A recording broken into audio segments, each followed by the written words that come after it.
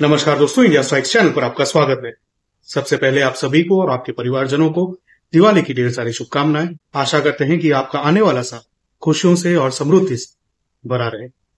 इस वीडियो में हम बात करने वाले हैं इंडिया कैनेडा रिलेशन जी नहीं कनाडा में जो इंडियंस रहते हैं, उनके ऊपर जो टारगेट एक पेंट किया जा रहा है, एक जो उनको टारगेट बनाया जा रहा है और हिंदू मिशिया को आगे बढ़ाया जा रहा है।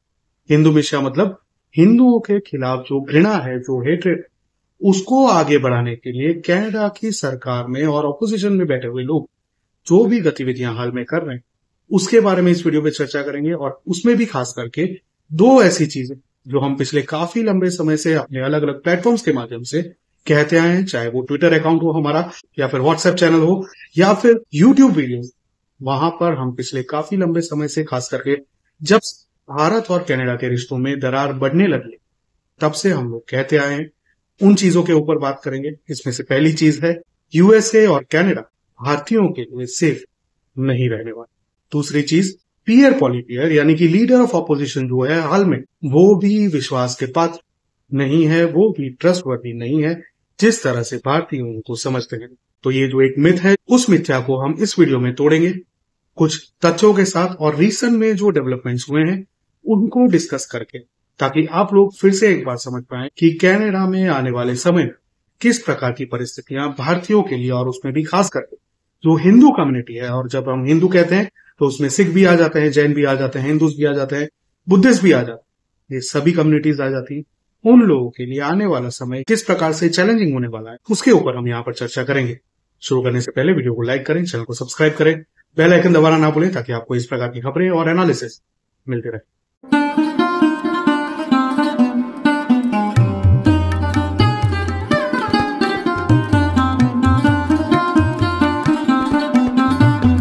तो आइए शुरू करते हैं। तो पिछले 20 सालों से ज़्यादा से कनाडा में फ़र्स्ट, सेकंड और थर्ड जनरेशन इंडियन जो हैं, उन लोगों के लिए स्पेशली पार्लियामेंट्री हिल पर दिवाली का सेलिब्रेशन ऑर्गेनाइज किया जाता है।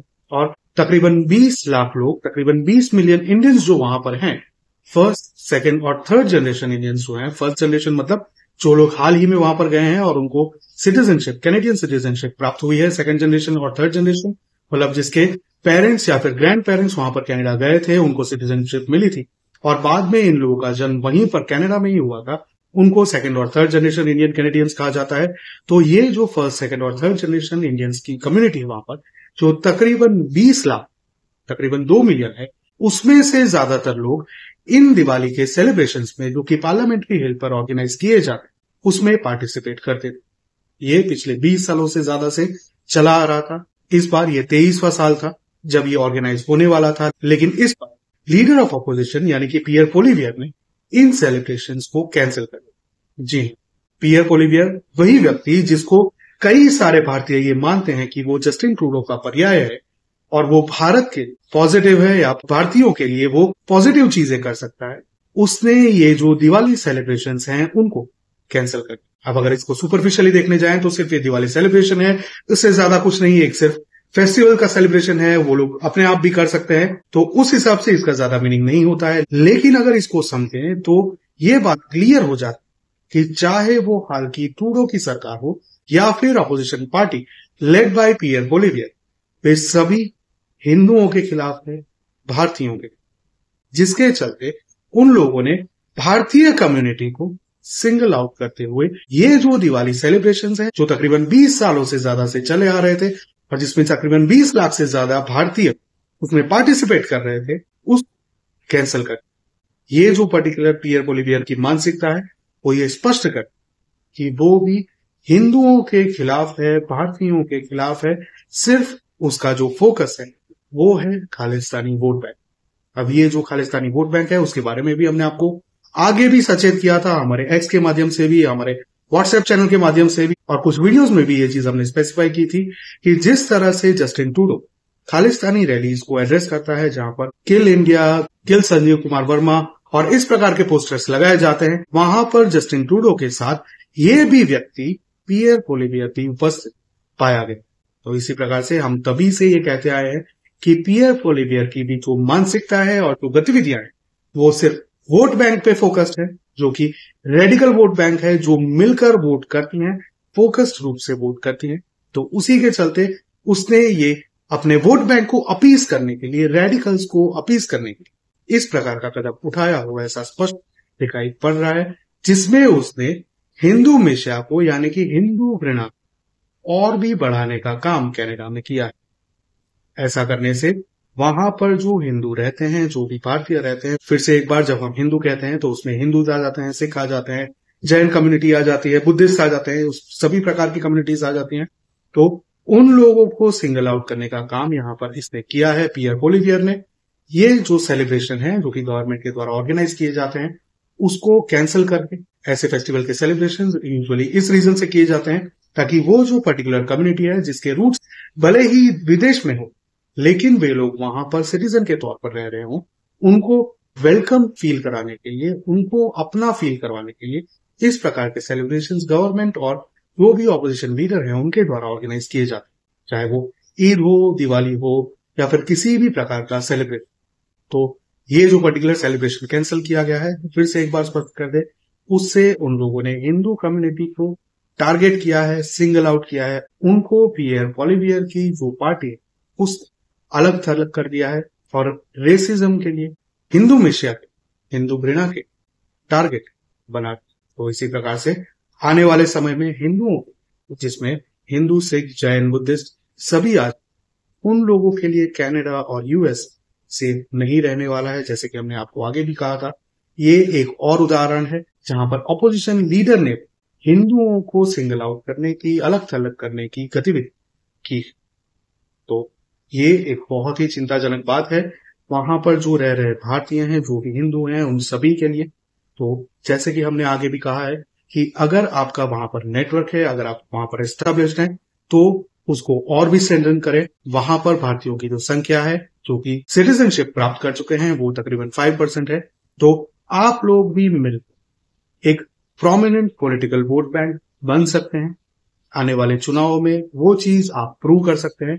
उसी के ज़रिए आप हिंदुओं को, भारतीयों को, कनाडा में, यूएसए में सुरक्षित रख सकते अगर आपका वहाँ पर नेटवर्क नहीं है तो हम ये सलाह देंगे कि वहाँ से तुरंत ही निकल जाएँ। दूसरी कोई भी कंट्री ऑप्ट करें except for USA Canada and UK दूसरी कई सारी कंट्रीज़ हैं जहाँ पर इंडियंस को वेलकम किया जा रहा है इंडियन फेस्टिवल्स को सेलिब्रेट किया जा रहा है। तो ऐसे कई सारे अन्य कंट्रीज़ हैं प्रॉस्परस कंट्रीज़ हैं, जहाँ जाकर आप अपना करियर आगे बढ़ा सकते हैं, अपने आप को एस्टेब्लिश कर सकते हैं और साथ ही में भारत में भी जिस तरह से डेवलपमेंट हो रहे हैं, जिस तरह से भारत आगे बढ़ रहा है तो अगर आप भारत आते हैं और भारत की उन्नति में अपना योगदान देते हैं तो ये सबसे श्रेष्ठ होगा। लेकिन फिर भी अगर आप भारत आना नहीं चाहते हैं किसी वजह से तो अन्य कंट्री ढूंढे, जहाँ पर आप सेफ़ रह सके। आपका परिवार, आपके बच्चे, आपके भाई बहन आपके पति पत्नी आपके माता सुरक्षित रहे। क्योंकि आने वाले दिनों में हिंदुओं के ऊपर, भारतीयों के ऊपर हमले शुरू हो जाएँगे और वो बढ़ते चले जाएँगे, जहाँ तक इस प्रकार की सरकार रहती है जो रेडिकल लोगों को, खालिस्तानी उग्रवादी मानसिकता वाले लोगों को पना दे रही है अपने वहाँ पर और उनको अपीज करने में कॉन्स्टेंटली लगी हुई। उसी के चलते उन्होंने भारत से भी रिश्ते खराब कर लिए हैं। और अब जो वहाँ पर कनाडा में हिंदू रह रहे हैं, उन लोगों के लिए भी ये जो गतिविधियाँ हैं, वो खतरा बनती जा इसके अलावा जो भी भारतीय ऐसे हैं जो यहाँ से बाहर निकलने का प्लानिंग कर रहे हैं, अगर आप अपने कैरियर को आगे बढ़ाने के लिए या फिर कुछ जॉब अपॉर्चुनिटीज़ के लिए बाहर जाना चाहते हैं तो यूएस कनाडा और यूके को छोड़कर कोई भी अन्य कंट्री में जाएँ, जहाँ पर आपको सेफ्टी भी मिले along with the career growth ऐसी कई सारी कंट्रीज़ हैं, कुछ यूरोप में भी हैं ऑस्ट्रेलिया, जैसे हमने बताया, साथ ही में न्यूजीलैंड भी है। ये सब कंट्रीज़ हैं जहाँ पर आपको ग्रोथ भी मिल सकता है और साथ में सेफ्टी भी मिल सकती है। तो इन जगहों पर भी आप जा सकते हैं। अपने जो भी ऑप्शन हैं, उसको पूरी तरह से एनालाइज करें। कई सारे एस्पेक्ट्स होते हैं। ये हम अपने पिछले पंद्रह सालों के वीज़ा कंसल्टिंग के पर्सनल एक्सपीरियंस से बता रहे हैं, जहाँ पर हमने अलग अलग कंट्रीज़ में कई सारे विद्यार्थियों को भेजा। तो उस पंद्रह सालों के दौरान हम कॉन्स्टेंटली इन सब चीज़ों को ऑब्ज़र्व करते थे कॉन्स्टेंटली उसको एनालाइज करते थे, और उसके आधार पर लोगों को सजेशन देते थे कि कहाँ जाना सेफ़ होगा, कहाँ जाना उन लोग बेटर होगा। तो उसी प्रकार से यहाँ पर हम फिर से एक बार आप सभी को सचेत करते हैं। तो ये थी पूरी बात जिसमें कैनेडा में जो इंडियंस रह रहे हैं, उन लोगों को किस तरह से टारगेट बनाया जा रहा है, और हिंदू मिशिया को, यानी कि हिंदुओं के प्रति जो घृणा है, जो हेट्रेड है, उसको किस प्रकार से गवर्नमेंट और ऑपोजिशन के लीडर द्वारा बढ़ावा दिया जाए। उसके ऊपर हमने चर्चा की और साथ ही में वहाँ पर जो लोग रह रहे हैं, जो भारतीय उनको भी हमने कुछ सजेशन दिए। तो आपको ये वीडियो कैसा लगा? हमारे जो सजेशन हैं, वो आपको कैसे लगे? वो हमारे साथ कमेंट में ज़रूर साझा करें वीडियो को लाइक करें चैनल को सब्सक्राइब करें। बेल आइकन दबाना ना भूलें ताकि आपको इस प्रकार के अपडेट्स नोटिफिकेशन के माध्यम से मिलते रहे। साथ ही में यहाँ पर क्यू कोड दिया है तो हमको फाइनेंशियल सपोर्ट भी प्रोवाइड करें ताकि इस प्रकार की खबरों को एनालाइज करके वो भारतीयों को किस तरह से डायरेक्टली अफेक्ट करके वो भी हम आप लोगों के साथ डायरेक्टली साझा कर पाएँगे। मिलेंगे अगली खबर में। तब तक के लिए जय हिंद, हर हर महादेव।